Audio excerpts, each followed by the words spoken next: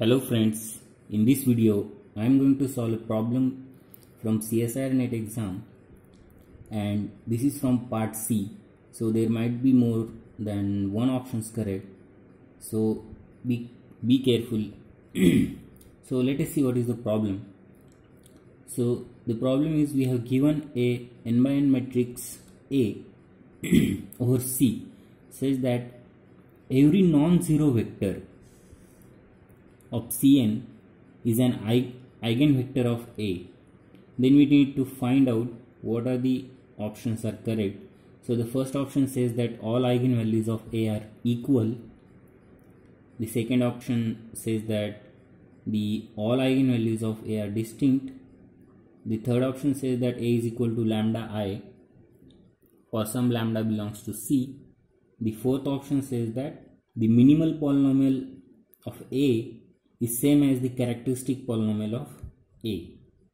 So let us solve this. so they are saying that so the solution every non-zero vector is an eigenvector So what does that mean? In particular, if we have these uh, standard uh, unit vectors which are uh, 0, 0, 0 and 1 at the ith position again 0, 0. So these are also eigenvectors because these are non-zero vectors, right? So that means A ei is equal to some lambda i ei and lambda i belongs to the complex number. So what does that mean? AEI now suppose you have a matrix which which is like this a11 like this a1n uh, an1 and ann and aei is just the ith column of A. And what is that ith column? Is A1i, A2i up to ANI.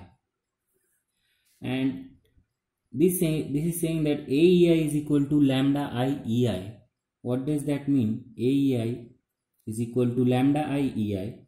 So that means AEI is equal to just lambda i uh, at the ith position and 0 everywhere else. this says that the a i ith entry which implies a a ith entry is lambda i and the all other entries are 0 a j i will be 0 if j is not equal to i what does that mean? AJI is equal to 0 whenever j is not equal to i and only ai is lambda i. That means the A must be a diagonal matrix because the only diagonal entries are surviving here. So this will imply that A is diagonal matrix. And in particular it has to be exactly equal to lambda 1 lambda 2 up to lambda n at the diagonals and all other entries are 0 so but we are not done yet.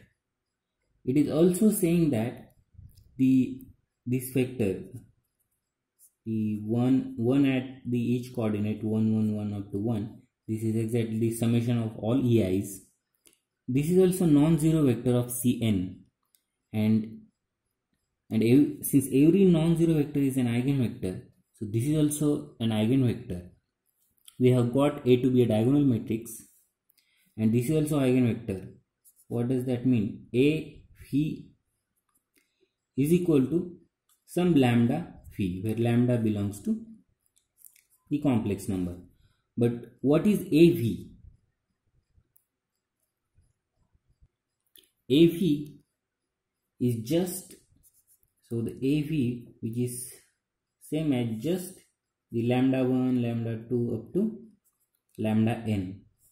And this is saying that this is equal to lambda times v. And the lambda times v is just the lambda at uh, each coordinates. So what does this imply? This implies that the all lambda i's must be equal to lambda. So this means that the a is a diagonal matrix but moreover a is just the scalar matrix where the each diagonal entry is lambda and the all other entries are 0 now let us come back to the uh, problem. So what is it saying?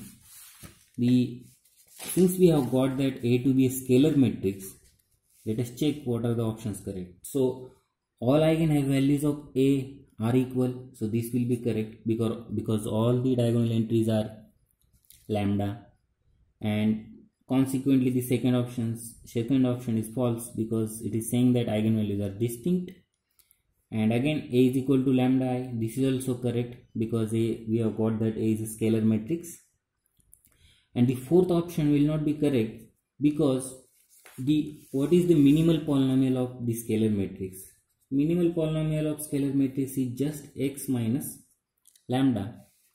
But the characteristic polynomial of a will be x minus lambda raised to n right so these two polynomials are not equal. Therefore the fourth option cannot be correct. And that's it for now. I hope you like this video. Thanks a lot for watching. If you like this video please uh, share it and subscribe. Thank you